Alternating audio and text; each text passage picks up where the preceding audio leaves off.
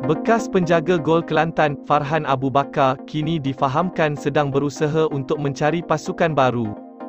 Khabar kurang senang ini dikongsikan oleh pemain berusia 30 tahun itu sendiri menerusi platform Instagram tatkala beliau serius mencari pasukan yang mahu mendapatkan idmatnya.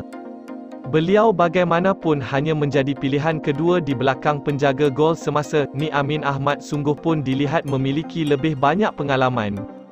Namun begitu, beliau membuat satu keputusan mengejutkan mengenai masa depannya menerusi hantaran tersebut, umum mengetahui bahawa terdapat beberapa pemain yang sudah pun membawa haluan baharu selepas tidak lagi bersama The Red Warriors. Kini, seorang lagi pemain bakal membawa haluan baharu setelah tidak lagi beraksi buat Kelantan. Beliau juga berharap ada mana-mana pasukan dari Lembah Kelang yang berminat untuk menggunakan idmatnya buat pasukan mereka. Kelantan kini difahamkan hanya memiliki dua penjaga gol iaitu Ni Amin dan seorang pemain muda bawah 23 tahun iaitu Irfan Haikal.